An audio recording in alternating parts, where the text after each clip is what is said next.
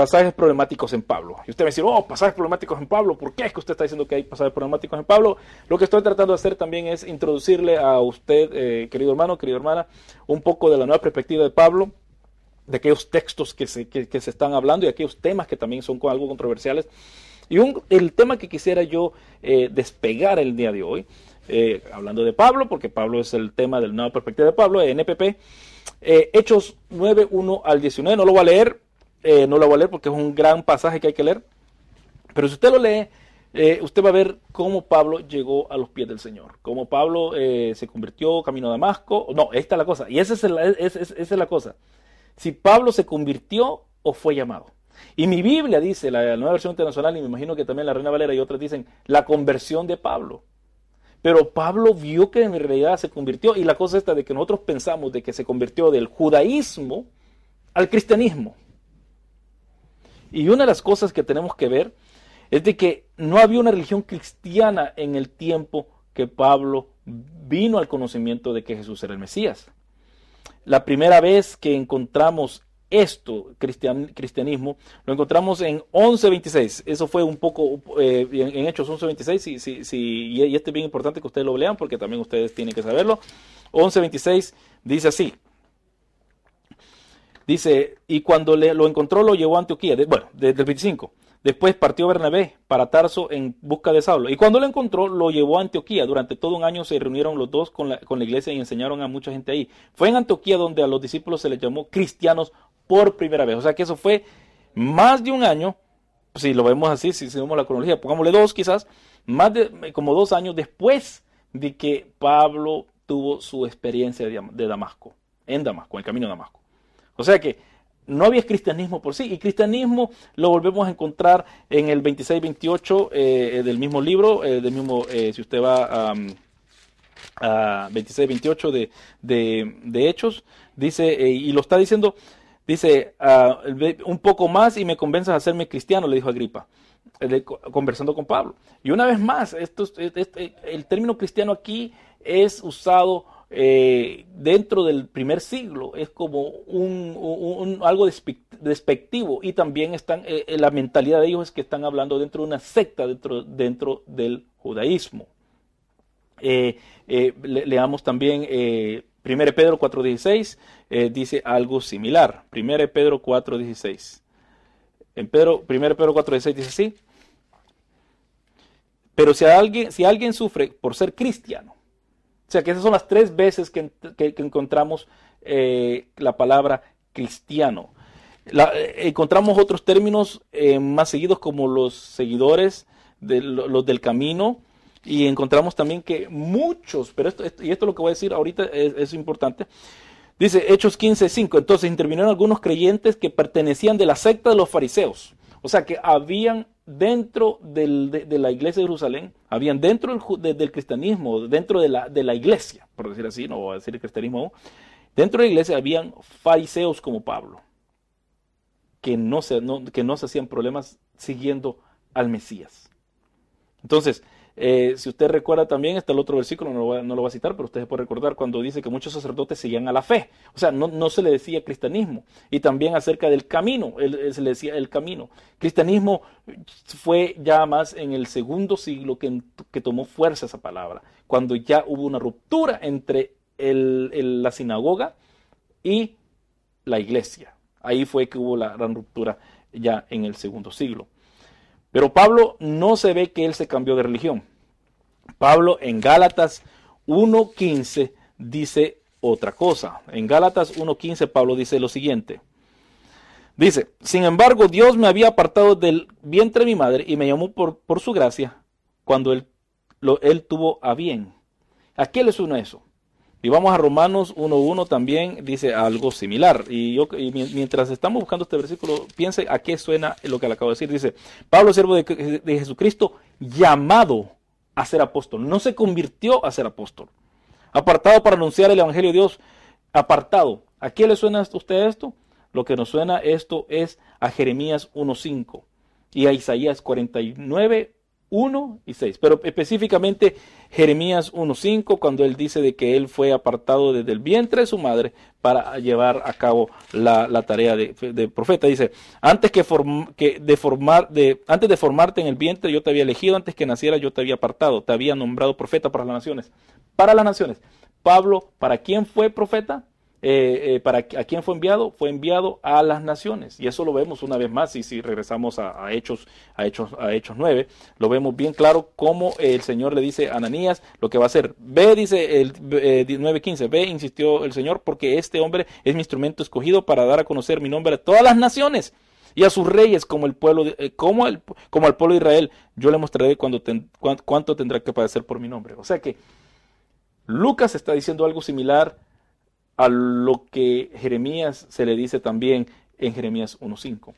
Ahora, vamos a Isaías 41 del 1 al 6, que es muy interesante. Dice así, el versículo 1 dice, Caen en mi presencia costas lejanas, naciones renueven sus fuerzas, acérquense y hablen, reunámonos para juicio.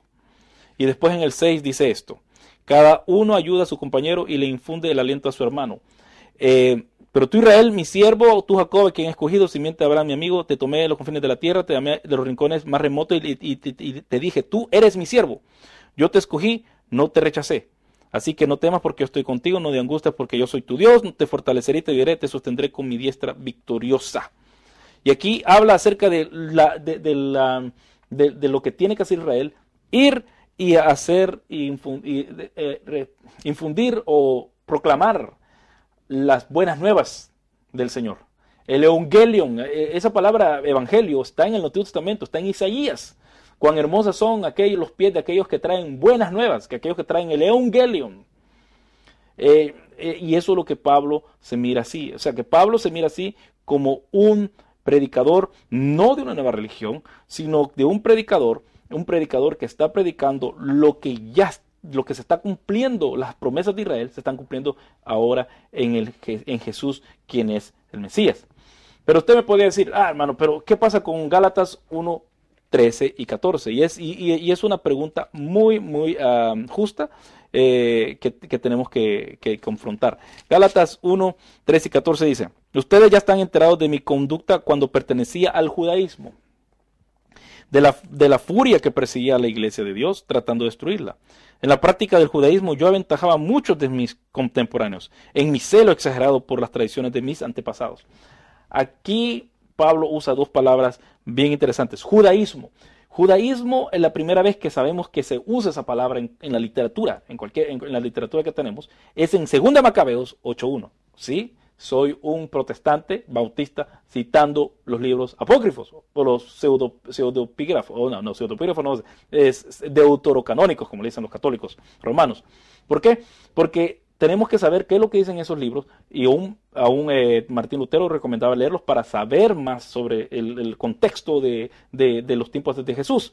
Por lo tanto, en 2 Macabeos 8.1 también habla de los, del judaísmo, es la primera vez que encontramos, y aquí en Pablo, y después la encontramos en la literatura que existe. Una vez más, aquí en Pablo, específicamente en, el, en el, capítulo 1.3 de Gálatas, donde dice, ustedes ya están enterados de mi conducta que cuando pertenecía al judaísmo, de la furia con que perseguía la iglesia de Dios tratando de destruirla. En la práctica del judaísmo, yo aventajaba a muchos de mis contemporáneos en mi celo exagerado por las tradiciones de mis antepasados. Y tradiciones de mis antepasados, ¿se acuerdan? Las tradiciones de los ancianos, las tradiciones, tradiciones, tradiciones.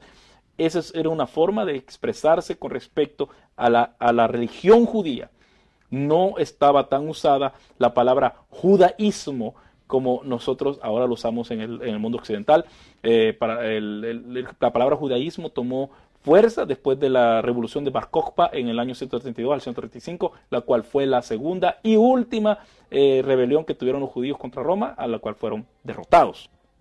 Entonces, usted me puede decir, eh, bueno, ¿cómo es que el, qué es lo que quiere decir judaísmo entonces? Judaísmo se ocupaba, era una palabra técnica dentro de los judíos para diferenciarme a aquellos judíos helenitas aquellos judíos que habían abrazado el, el, a tal grado de que no guardaban el sábado, y esto lo vamos a hablar después, que no guardaban el sábado, comían cualquier cosa, comían cerdo. ¿Y cómo sabemos que no comían cerdo los judíos? Al menos en Galilea y en Jerusalén nunca se han encontrado huesos de cerdos.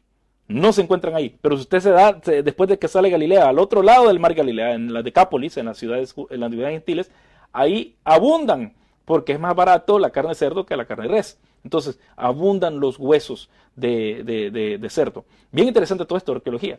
Y por último viene el, término, el término judaísmo, entonces es, usado para contrarrestar y contraponerse en, eh, eh, y diferenciarse en contra de aquellos judíos dentro de la diáspora que, se, que no seguían las tradiciones de los antepasados. Ahí está el, uso de esas dos palabras, judaísmo y tradiciones de los antepasados.